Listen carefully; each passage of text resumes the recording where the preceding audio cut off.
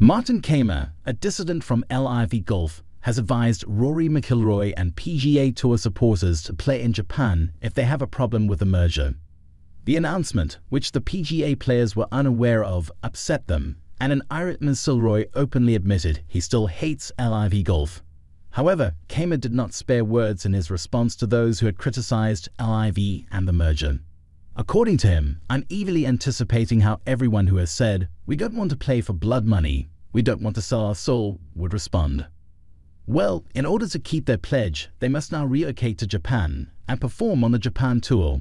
I believe you should just go with your gut and your beliefs, he stated. I defended my principles and the sentiment in my heart. I was strong enough to defend myself in the face of many critics and abusers, including those from Germany. Funny enough, since the announcement, they've been sending me pleasant notes. Since our society is so hypocritical, making your own decisions is even more crucial. Don't pass judgment too harshly since you might end up acting like. Kaymer, one of the LIV golfers competing in the US Open the next week, does not anticipate any animosity. He thinks the players get along well and don't have any grudges, but he did admit he had a little sympathy for some PGA Tour players.